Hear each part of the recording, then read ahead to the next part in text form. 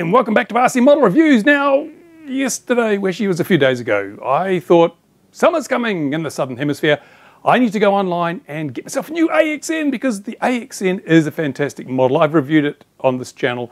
My build videos have been seen dozens of times by people all around town. So it was a very popular model and there's good reason for that because the AXN is such a versatile model. I've thermal soared mine. You know, I've had like 40 minute flights out of a 20 second motor run just by hooking thermals here in the spring and the summer. And yet I've flown it at over 100 miles an hour in gale force winds in a tropical cyclone. All those videos are on my XJet channel. Go and have a look at them if you want to see them. So it's a really versatile model. It's, you know, hard to beat. So I thought, I'll go online, I'll buy a new one, new Christmas present for myself. There we go. But tragedy. Dun, dun, dun. I couldn't find any for sale. It looks like they're not making them anymore. What? A fantastic model like the AXN has been discontinued. Maybe it has, maybe it hasn't. Maybe the, the shops were just out of stock, but oh my gosh, what am I going to do? Well, maybe there's a replacement for the AXN. Uh, a lot of people have bought the Bixlers, of course, because Hobby King pushed those really hard. And the Bixler's a fine model, but never spun my wheels, never got me excited. I never really thought they were what I wanted. They're a little bit bulky. They're just not as versatile. The extra wing area makes them a bit more prone to being blown around in the wind. And they're a little bit weaker in the front where you do your landings on the nose, you know. Um, so, mm, I don't know. On the plus side, the Bixler's got more space, so you can fit FPV gear in it more easily. And it is a Hobby King model, so it's readily available. They're very rarely out of stock. But I thought there must be another alternative. And today, we're going to look at one and see whether it can be son of AXN, whether it can take the place of the fantastic AXN. Will it make me happy? Let's find out. Well, the model I'm talking about, of course, is the Dynam Hawk Sky. Is this the, the, right way? No, that way. That way? That way? Can you see it? There it is. It looks a bit like an AXN, doesn't it? There's not a lot difference. It's got a high mounted motor behind the wing, which is great because you don't break propellers. It's got elliptical dihedral on the wings, which means it's nice and stable. Um, the front, it's got a canopy. It's got a pilot. It's got a pilot. So many models. I see models entered into you know, world-class scale competitions, and they don't have pilots. I see planes flying without pilots. How does that work? No, pilots are really good. I love pilots. This also has the advantage of the AXN that you can put wheels on it if you want to. if you want to. Why, you, why would you want to? I don't know. It's just another thing to knock off when I do my landings. But here we go. This is the Dynam, this is over here, the Hawk Sky. Version 2, version 2 I might add. Now I did have a quick look at a Hawk Sky version 1 many years ago. And it was crap, to be honest. It was total crap. It was very poorly engineered, very poorly thought out, and that the, the rudder didn't even center properly because there was too much drag on the servos because of the wire push rod. Ah, it wasn't very good. So I hope this is better. I hope it's better. I hope it's going to be the new AXN, at least for me. So let's have a look at what's in the box and let's throw it together and let's give it a fly, see if it really can replace the AXN. And one of the first things I noticed with this model is it has on the box Expert Level 2. It looks like a simple plane to fly easily. I hope it's not as hard to fly as the box might suggest. That would not be good at all. So, uh, you know, we'll find out shortly. But here we go. It comes with instructions. Ooh, everyone loves instructions. I mean, that's pretty good. The, the again, it's just printed sheet. But these things, not, you don't have to be a rocket surgeon to put them together. Have a look at this. Hope you can see this. Look at this. I don't know. It has guide for how to fly. You just move the stick this way. Well, I don't know. Um, it always makes me laugh when I see that. Um, if you're at this stage of learning, you really should, you know, get someone to give you a hand. Um, you shouldn't be learning it from a brochure. But there we go. That's the thing. And also, of course, it comes with Stickers. Everybody loves stickers. Look, a whole screen full of stickers. I don't think I'll use those. I hate stickers on models. I love stickers for other things, but not on models. You notice I'm not showing you the box because it's buried in the crap on my bench. Wings, it has wings. Yeah, everyone needs wings. These are not as big as the Bixler wings, but they are bigger than the AXN, AXN wings, I think. And they come in plastic bags. I have the, the plug and fly version, so I have to put a receiver in it, but the servos and everything are pre-installed. Push rod's pre-installed. This is actually a whole lot better than the AXN. Let me get a knife. Um, oh, I think I, damn, my knife's in the other room. We will make do with a pair of side cutters, because that's what we do here. The bag is very strong, I might say. If you're looking for a bag, buy one of these. Here we go. Let's have a look at the wing. Yeah, that's nice. Woo. I hope they've exercised those EPP hinges because, or EPO hinges because otherwise it'll be a bit stiff, but the servos are installed, saves you all that hassle. Wires are run. Of course, the AXN, you had to do all this yourself if you bought the, the plug and fly version. No, the AR, yeah. the RF, ARF version, uh, but it was quite good. I, I quite like ARF, but this seems good. There's no slop in the horns. There's no slop in the linkages. It's got a clippy clippy thing for holding the wings on. So it looks like, looks like it could be a really nice thing. It's got a, ooh. can you hear this? Made some cracking noises and the foam's lifting a bit there. I'll look closer at that. It's a cap over the spar. The spar seems to run out to exactly, oh my goodness. Oh dear, the spar runs out to there. Doesn't run further out. We'll see if the wing breaks when I do some high speed pullouts. Anyway, this will be worth watching, won't it? And we have, of course, a pultruded carbon rod, just like the AXN. But this is this one's designed to have the wings come off and on. The AXN was really better if you glued the wings together. So that's a bonus. Um, here we have the elevator and the vertical stab. Um, these ones you have to obviously put horns on and things. A bit of glue involved, I think. Let's have a look. We get glue. Here's a box. Woo, here's a box. What's in this box?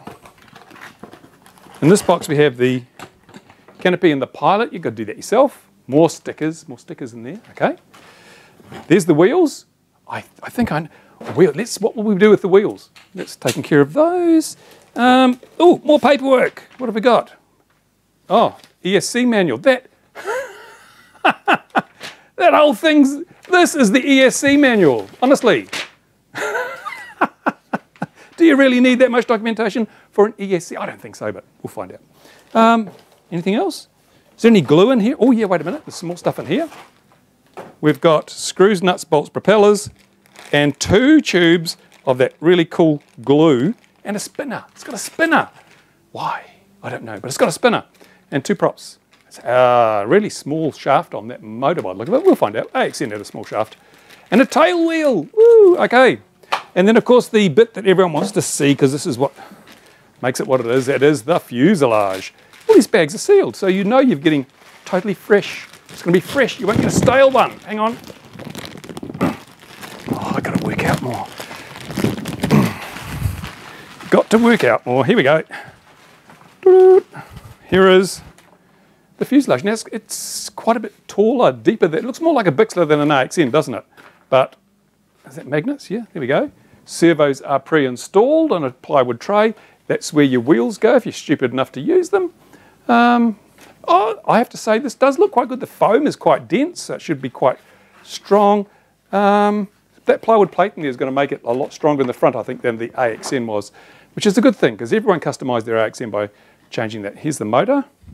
It's one of those pancakey ones. It? No, it's not. It's quite a decent sized motor. Push rod. Push rod. There's no. Ooh. There's no clevis on this one. Should there be a clevis on? there's no clevis on one of those push rods. I don't know if that's important or not. Maybe we have a push rod clevis in here somewhere. I don't see a clevis.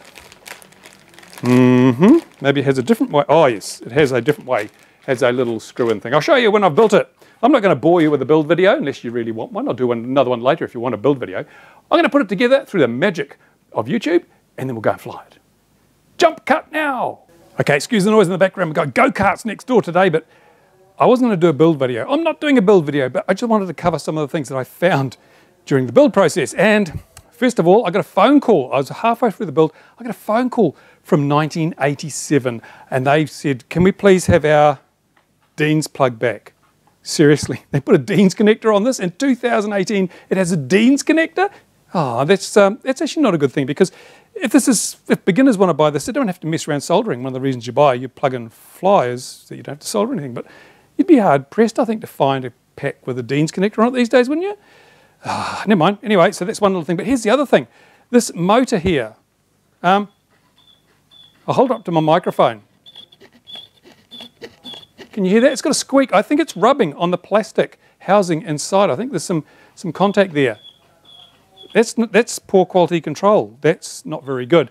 Um, having said that, of course, the AXN had its own set of problems when it came to quality control. Nothing is perfect, so we're not going to be too harsh, not going to judge it too harshly on this, but uh, suffice to say, the tail glued on really easily. It's nicely keyed. You know, you, you, you can't put this on wrong, at least so far I haven't been able to put it on wrong. Um, it's got clevis, got a horn, not too you know, impressed by the geometry. They've got this, we try and get this all into shot. It's a bit hard when I'm not sitting at the desk. But you can see, let me pull out a bit so you can see all the mess. Am I going the right way? Yes, I am. Um, you can see the angle, the thing is on. The AXN suffered from this a bit, but the geometry means that this the angle of this horn changes quite significantly as the as the rudder turns, and that's just it's just not very nice. But it is there's no way around it if you're going to have a swept back rudder, and the rudder is actually quite small. I don't think that's going to do very much, but we'll find out. Um, elevator has a different setup in here. Um, it doesn't use a clevis; it uses one of those little brassy things, and it's going to be a bit of a pain in the ass to get on, but that's all right. The glue seems to work quite well, um, so now I'm just going to, I'm going to put it on like this. I'm not going to worry about the squeaking because that's where it came, but it says, the instructions are a little bit lacking. I can see why it says Expert 2. You need to know a little bit about models to put this together because it says put the propeller on. Um, and the problem is that put the spinner and the propeller on, if you do it like they say, well, this little nut is in, it's wound too far out. It came too far out on the shaft. So there wouldn't actually be enough thread to put your propeller on. Yeah, not, not enough. So I'm going to have to wind this in, and it's a lock nut, so I'm going to have to put pliers on here, try not to damage the thread. Again, a little attention to detail. It, this is why it's probably considered more of an expert model, because you need to fix stuff as you go. Okay, that was going to take absolutely forever, and I was going to mangle the shaft, so I've taken the plastic piece off the side, and I can see in here where the motor was rubbing. There's a little mark where the motor's rubbing on the plastic piece. So I'm going to just relieve that a little bit. Not the sort of stuff I'd expect to have to do with a brand new model, but now at least I can get at the motor and it make it easier. I can hold the, the outside of the motor while I tighten that down further down so I can put the spinner on. Unnecessary moves um, and very poorly explained in the manual because they just say attach the propeller. Now I was farting around trying to find a socket to fit on that nut until I realised that because this plastic piece here has a nut-shaped portion and it slides over there, I can use this as the nut. So once I've got access to the, the motor's uh, outer, outer rotor, I can just hold that and I can turn this until it leaves just the right amount of gap between the plastic cowling and the, and the spinner back plate. So job done.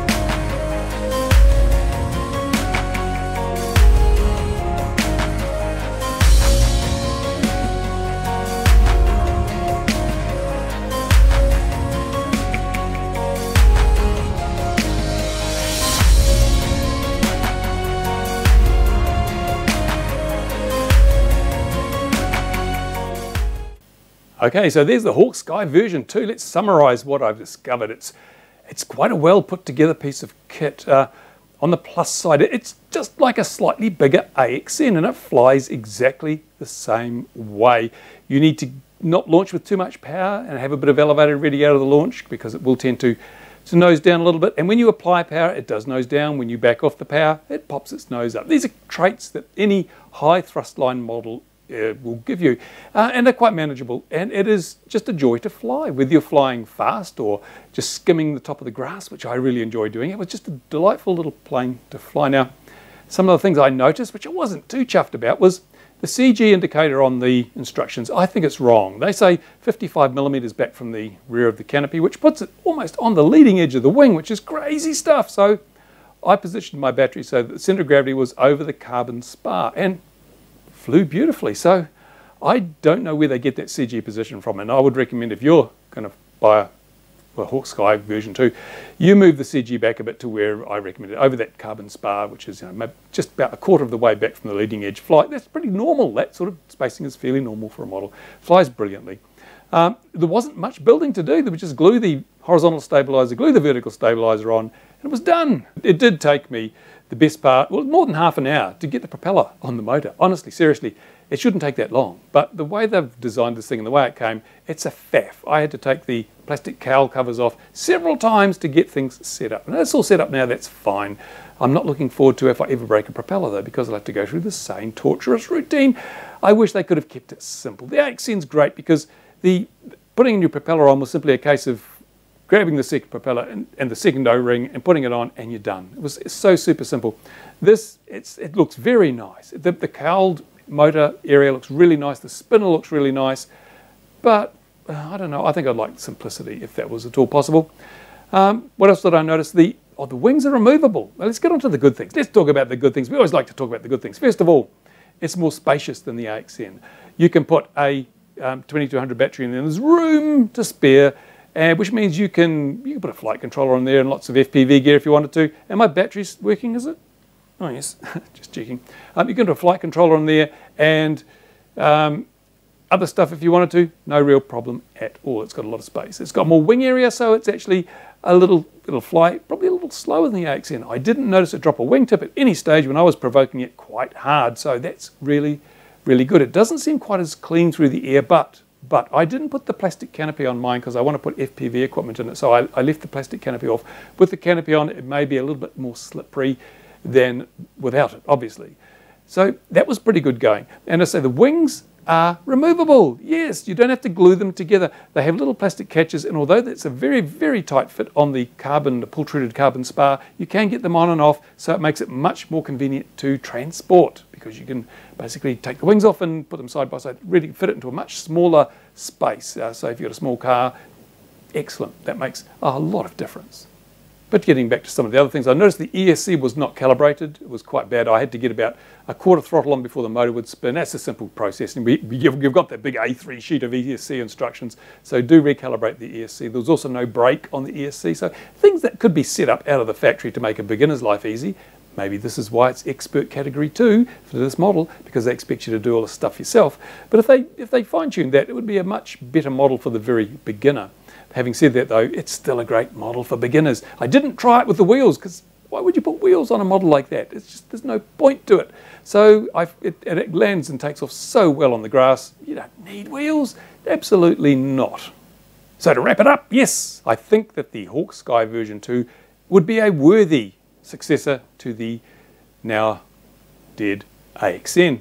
Um, it isn't an AXN, but it does have some really good characteristics that if you've flown an AXN, you'll just love the way this thing flies. So yeah, yeah, go for it. And if you live in New Zealand, whoa, lucky old you, because this thing's on special at the moment, I gather. Um, it's uh, if you check around, you'll find it on special, and I know a number of people have just bought them because I've seen the one at the field today that I was reviewing. So yeah, I'll get them while you can, I suppose. Yeah, I, I like them. I, I like them a lot.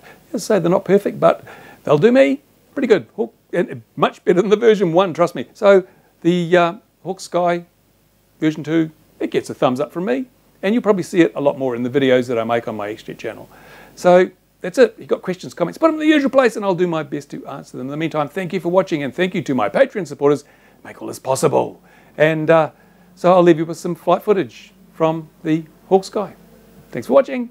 Bye for now.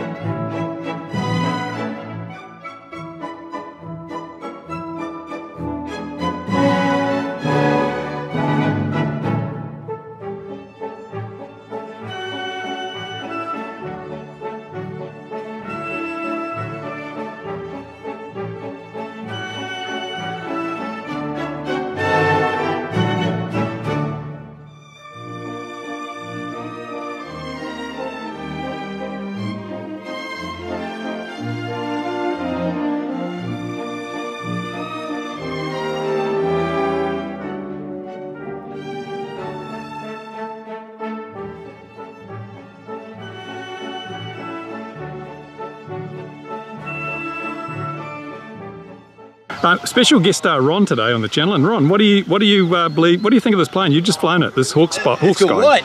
It's all white. Yeah, it's all white. yeah, yeah. And flying characteristics. Oh, it flies just like an AXN, really. So it could be the new AXN. Yeah, it could be. Yeah. If you painted AXN on it, Yeah, it could be the new AXN. But yeah, yeah, quite predictable, quite good handling. Yeah, yeah, yeah. Well, well, I think the truth and testimony of that is it's still in one piece, and Ron's flown it several times now. Yeah. So yeah, that's excellent. And it takes off without its wheels. It does those wheels. Forget wheels. those. Waste Yeah, of space. Yeah. But no, it flies really well. And you've heard it from Ron. He wouldn't lie. Yeah, Excellent. The new AXN is born. yeah.